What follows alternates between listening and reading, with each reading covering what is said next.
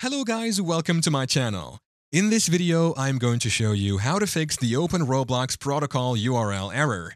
It is a fast and easy tutorial, so let's dive into it. I will use my PC to work you through this process.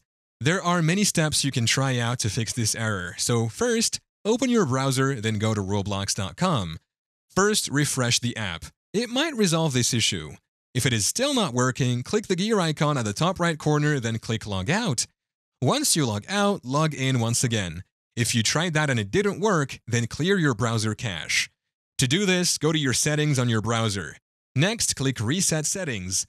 This process is a bit different for every browser. The next step is to check your network settings.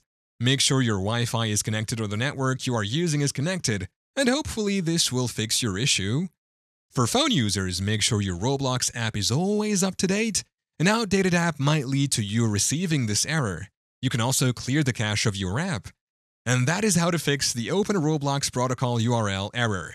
Thank you for watching. If this video was helpful, please leave a like and subscribe to my channel for more videos like this. And click on that notification bell to never miss an update.